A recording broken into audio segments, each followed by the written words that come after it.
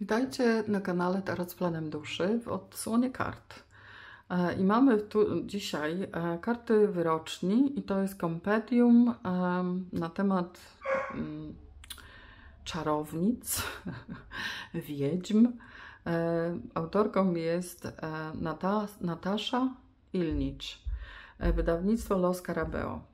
Kupiłam to, ponieważ Pomyślałam, że to może być interesująca talia. Jak bardzo się y, to będzie zgadzać z tym, y, co pomyślałam, to się okaże y, w pracy z tą talią. No, zawsze można ją przekazać dalej. Byłam ciekawa. Oglądałam jedną z moich ulubienic na YouTube, która właśnie pokazywała te karty, które wykorzystuje w specyficzny sposób. E, mam wrażenie, że ja też mogłabym e, używać tej talii w specyficzny sposób. Tak jak mówiłam, Los Carabeo, kupiłam to e, polski Amazon, bardzo szybko podesłali. Mm, mamy tutaj opis w czterech językach, bo to jak zwykle Los Carabeo tak robi. Jest to 60 kart i taka książeczka, która mu opisuje tutaj informacje zawarte w przewodniku 176 stron.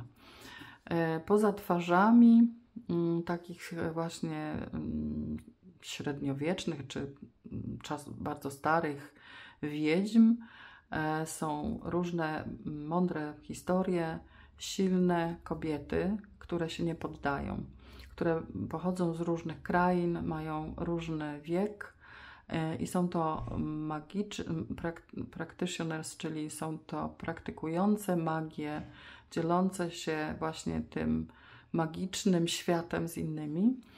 One są też e, bardzo połączone z szerokim, szeroko rozumianym światem e, ducha też. E, tego, czego nie widać w naturze. Ok? To tak to wygląda. Otworzymy. Mocno ściśnięte to pudełko, ale da radę, dało radę. W środku czarne. Odłożę na razie na bok jest ta książeczka, są karty. Karty są w folii.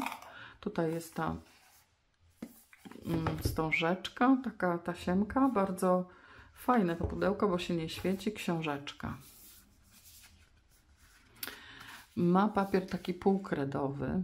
E, tutaj są nazwy, co tutaj w spisie treści jest. O, pierwsza strona jest w kolorach.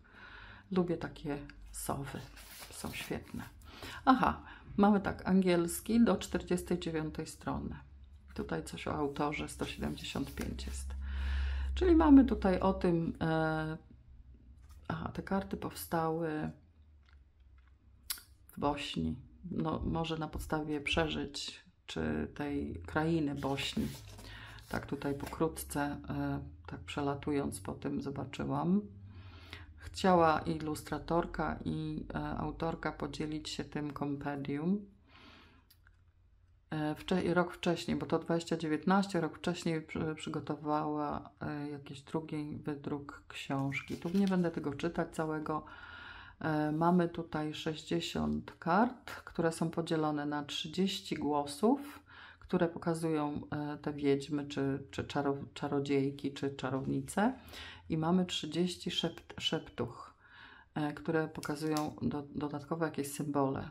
Szeptów, można powiedzieć 30 szeptów poprzez symbole. No i tu mamy tego, kto słucha, e, kapłankę i tak dalej. No i tu jest ten inny język, czyli mamy dotąd. Aha, lustro, zęby, księżyc. Aha, czyli w ten sposób. Żadnych rozkładów nie ma o autorze 178, gdzie to jest? 73, nie ma 178 strony. To co ja tutaj pomyliłam? No, zobaczymy. 175. O, tutaj. Natasza Ilnicz. Ona jest, e, wygrała jakieś nagrody ilustratorką i autorką, która jest e, w, Szko w Szkocji. Ona, jej praca jest inspirowana mitologią, folklorem i pogańskim, pogańską duchowością. Jest e, kreatorką kompediów, kompedium e, czarownic mm, i też Tarot of the Witch Garden. Nie znam tej talii. e, były publikowane jej ilustracje w różnych miejscach. Ok, no to tak, taka książeczka. Na razie odłożymy pudełko. No i zobaczymy karty. Takie są rewersy. E, mam tutaj na przykład inną. O, e, wyrocznie, chciałam powiedzieć orakuł, e, która ma mniej kart. Nie wiem ile ona ma kart. Ma kart 36. No oczywiście tutaj nie będzie, wiadomo, grubość nie będzie się zgadzała, ale chyba grubsze są te karty po prawej. Oczywiście tutaj będzie inna grubość, inny rozmiar kart. E, bardziej zbliżony rozmiar talii do talii tarota niż do wyroczni. Są mniejsze te karty. Nie mam żadnego ostrego narzędzia przy sobie, ale spróbuję to zrobić tak, żeby się otwarło. Ok, dobrze, to poszło. Na razie położymy to na bok. E, pudełeczka zaraz odłożymy, tylko chciałam Wam pokazać różnicę. O, taka jest różnica. To tak jakby ramkę dodać, nie? Nie mają ramek. Ok. E, ta mm, pani Kelly z Truth, and Story, e, która ma swój kanał na YouTube, ona zawsze mm, ma takie fascynujące um, przedstawienia kart. Więc ja Wam pokażę te karty, żebyście je sobie obejrzeli. Być może komuś się będą podobać, to może sobie zamówić. Teraz zobaczymy te karty. Postaram się nic nie komentować. Zobaczymy.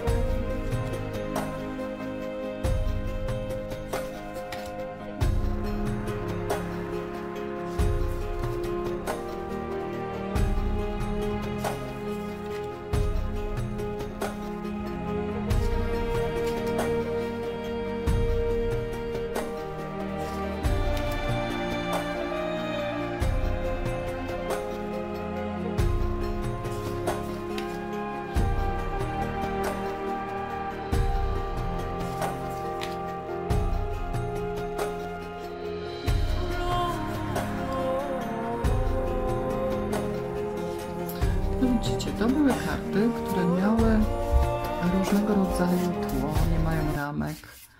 E, to jest te 30 kart. Ta trochę mm, pasowałaby tutaj do e, tych pozostałej, tej pozostałej części. Natomiast te napisy tutaj od razu, to co jest e, w tej ramce, mamy czarne i mamy białe. Myślę, że można też zrobić tak, żeby brzegi zrobić w innym kolorze i to też będzie fajne Pomyślę o tym. Bardzo mi się te karty podobają, jak na Los Carabeo. Super wydanie, e, świetny papier. Nie są, e, nie są świecące te karty, więc fajnie. Także, no dobrze, pokazuję dalej, a potem zobaczymy, e, jak można z nimi coś przepracować. Zrobimy może jakiś rozkład. Ok? No dobrze, to teraz kolejny pokaz.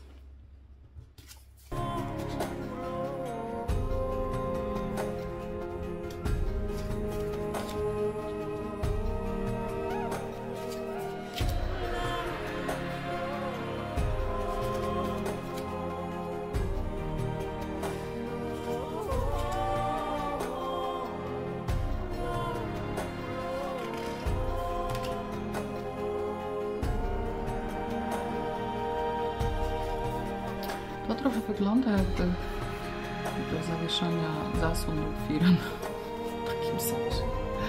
Ale no, to jest tylko moje skojarzenie, bo akurat kiedyś takie coś widziałam.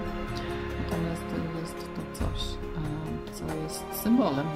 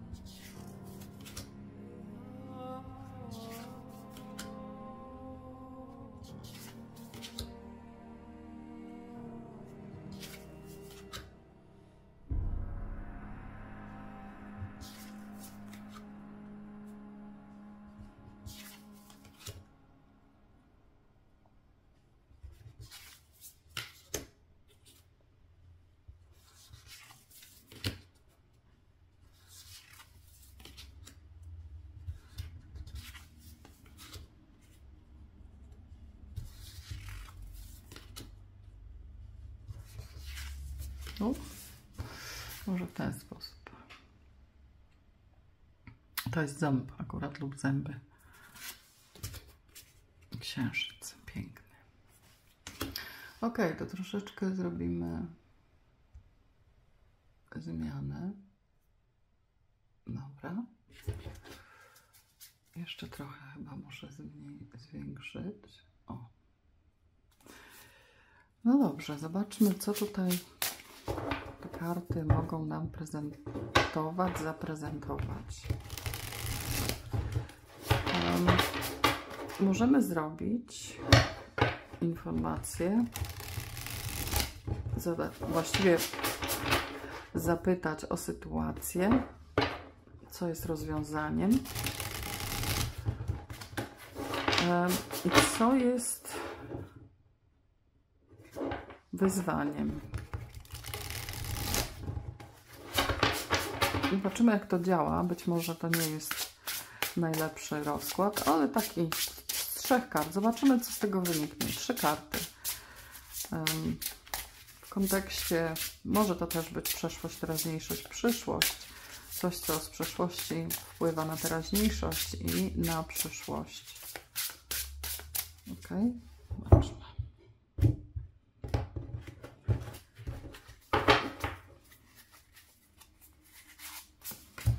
O, światło. Opiekun. Księżyc. Hmm. Ciekawe. Zobaczcie, um, wpływ światła. Wpływ światła na nas. No, na pewno jest to duża rzecz. My jesteśmy pod wpływem światła tak czy inaczej.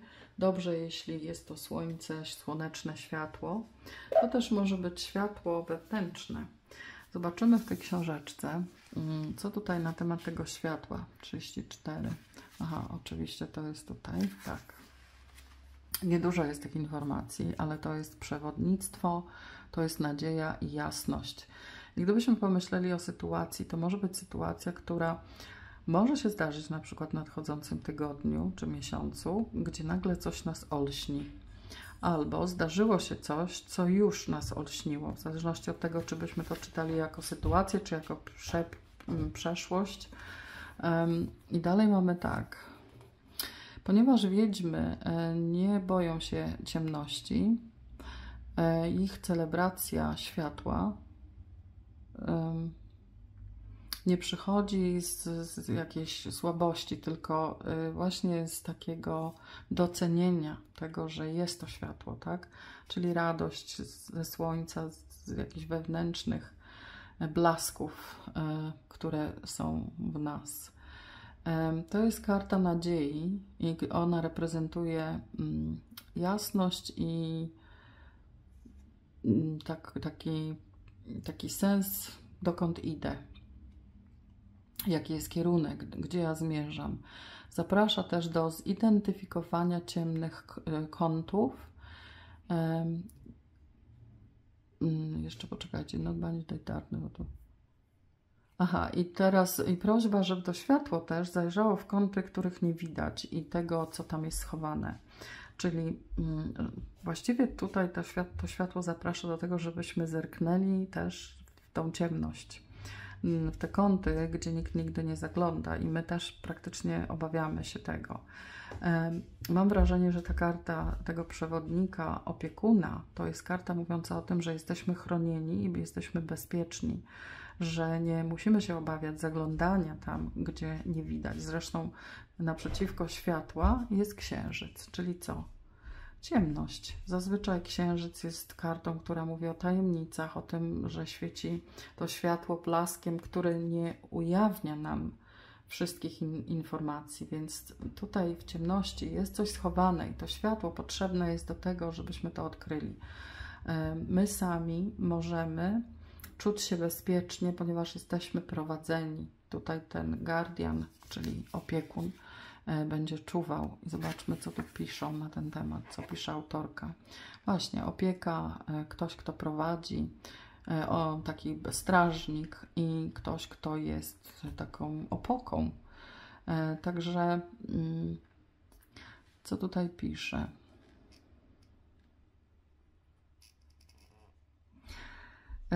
Że mm, usłyszany głos jakiegoś rogu wskazuje, że będzie nastąpi natychmiastowy atak e, i wszyscy powinni się skoordynować i, mm, i pojechać tam, gdzie jest ich pomoc potrzebna.